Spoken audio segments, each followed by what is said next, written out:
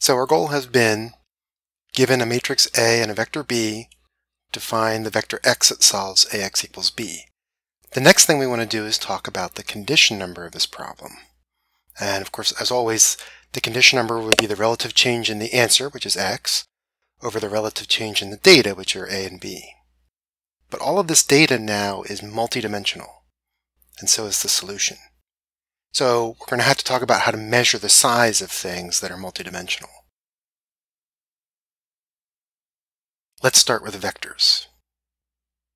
A norm on vectors is a function from the vectors to the positive real numbers that satisfies some key properties.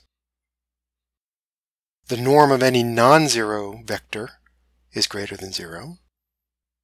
Next, the norm of the zero vector is 0. Third, if we multiply a vector by a scalar, then we scale the norm by the magnitude of that scalar. And fourth, we have that the norm of x plus y is always less than or equal to the norm of x plus the norm of y. This is called the triangle inequality because it amounts to saying the shortest distance between two points is a straight line. There are many possible norms, but we're going to use just three. First, we have what's called the 2 norm, or the Euclidean norm. The 2 norm of a vector x is the sum of the squares of the absolute values of all of its components with a square root at the end. This extends the Pythagorean theorem to n dimensions, effectively. It corresponds to length in the usual sense that we know in geometry.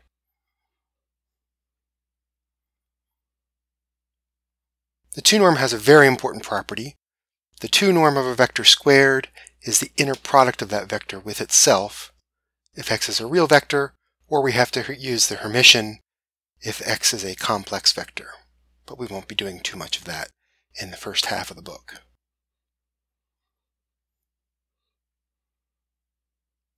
The 2 norm is usually the default choice.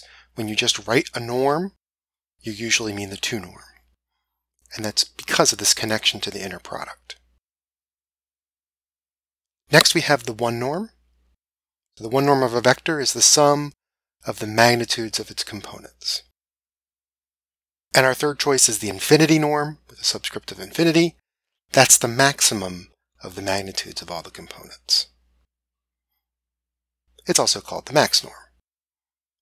In these definitions, don't forget to use these magnitudes. I'm saying magnitude instead of absolute value because they might be used on complex numbers.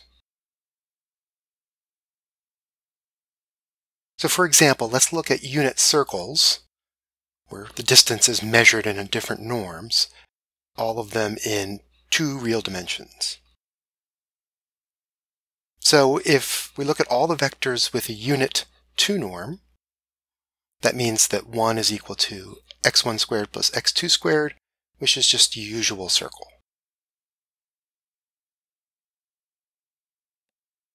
But if we look at all the vectors with one norm equal to 1, well that means that in real terms absolute x1 plus absolute x2 equals 1, and each of those absolute values could represent a plus or a minus.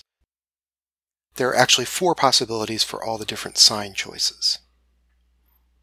Now each one of these is a straight line at an angle of plus or minus 45 degrees. When you put them all together, you see that you get a diamond, or a sideways square. So that would represent all the vectors whose one norm is equal to 1, or circle in the one norm. Finally, all the unit vectors in the infinity norm have maximum coordinate equal to 1. So that means either x1 is 1 and x2 is between negative 1 and 1, or x1 could be negative 1 and x2 is in that range, and so on.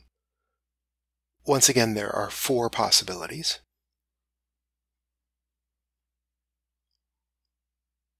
Each of those possibilities is a horizontal or vertical line.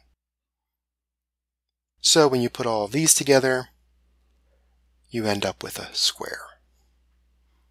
This time, the edges of the square are parallel to the axes. There are two things that we might want to be able to do with a norm, even before we get to condition numbers. So one is to just point out that any non-zero vector x can be trivially written as the product of the norm of x times x divided by norm of x. That's kind of obvious, but what this is is a magnitude direction form. The norm gives you the magnitude of the vector, and then this part is a unit vector, which gives you the direction. The other thing we'll want to be able to do in the future is to say that if we have a sequence of vectors, it converges to a limit if the norm of the difference goes to zero. So that's a limit in the usual sense. Now we want to extend norms to matrices. This is more complicated, and it's a bit more subtle than you might be expecting. The key observation is that every matrix induces a linear transformation. This is a fact usually covered in your first linear algebra course. So we could define a function of x as a times x for all vectors x. That transformation has the properties of a linear transformation. And matrix norms are based on this interpretation of a matrix. So the d norm of a matrix A is the maximum over all unit vectors in the d norm of the norm of the transform vector A times x. Now because of the scaling properties of norms, we could also write that it's the ratio of AX, norm of AX over norm X for all non-zero vectors X. We call this an induced matrix norm. The D norm of a matrix is induced by the vector D norm. Now when you work through the details of the definitions, it so happens that both the one norm and the infinity norm boil down to simple formulas. So these aren't definitions, but they are equivalent formulas. So the one norm of a matrix is equal to the maximum over all the columns of sums down the rows in absolute values.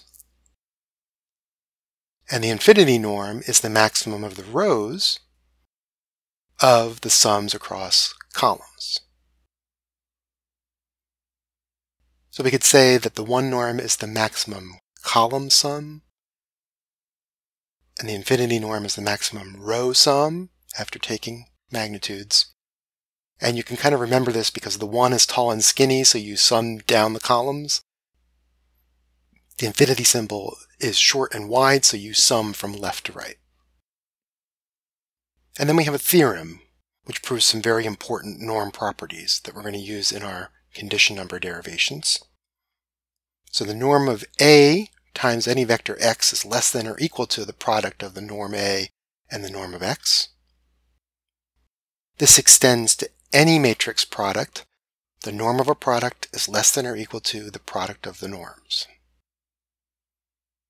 And then finally, the norm of a matrix to a power is less than or equal to the norm of that matrix raised to the power k. Of course, this only holds for square matrices. They're the only ones that you can raise to powers.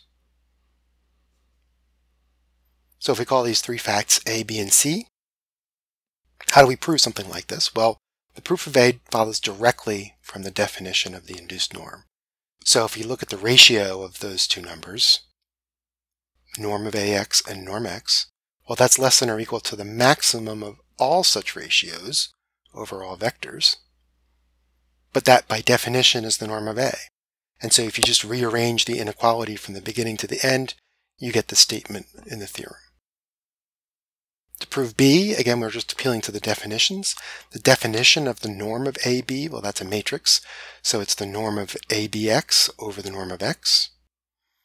But by what we just proved, that's less than or equal to the norm of A times the norm of BX in the numerator. But the norm of A doesn't depend on x, so we can draw it through that maximum. And then what remains here is the norm of B. So from beginning to end, we can say that the norm of the product is less than or equal to the product of the norms. Finally, part C just follows from applying part B, uh, where B is equal to A. Now, there's one thing I've left out to this point. How do you compute the two norm of a matrix? Well, it turns out that there is no simple formula, the way there was for the one norm or for the infinity norm. The definition just doesn't boil down to something like that. So we'll just have to content ourselves to using the norm function in MATLAB.